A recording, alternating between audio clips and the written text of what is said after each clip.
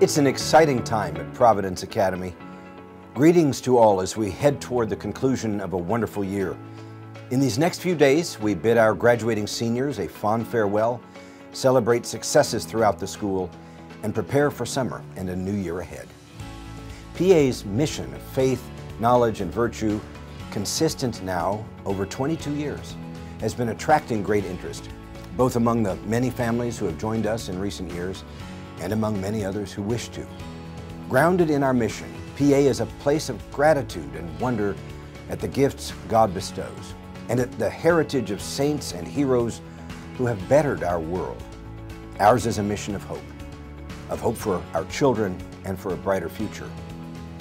We have wonderful news to share. Hope builds on what has been given, and this summer Providence is building again. As you know, a beautiful Marian shrine will be built near our entrance. What is more, we will commence construction of a new upper school classroom addition slated to be ready for fall of 2024 or even earlier. This is made possible by early generosity in what we call the quiet phase of a capital campaign, which we've titled Brick by Brick, Building the Tradition. Our development team has been meeting with current parents, alumni, grandparents, and other benefactors about needs in order to complete the original vision of PA as a school for around a thousand students pre-K through 12.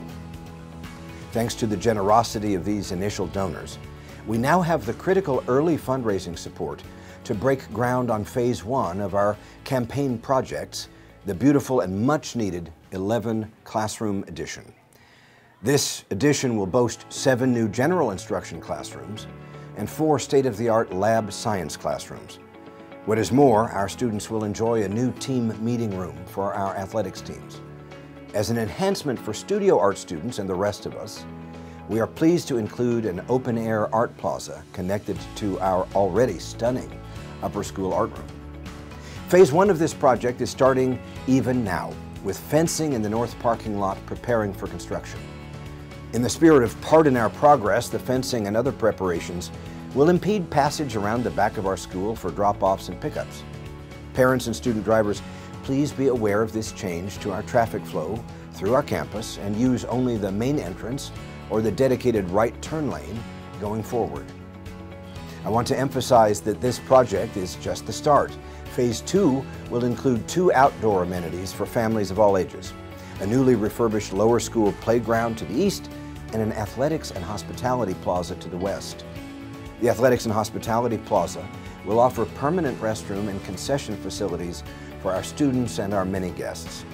Additional amenities may become included depending on what will be made possible through the generosity of our PA families and community past and present. The classroom addition is estimated to cost just over $11 million with the Athletic and Hospitality Plaza and Playground coming in at around $3 million. Thus far, we have raised 60% of our target $11 million for Phase 1 in cash and pledges, thanks to early donors. Later this summer, we will roll out the public phase of the campaign, where all will be invited to participate. As I say, this is an exciting time at Providence Academy. God bless you all. We'll be seeing you soon.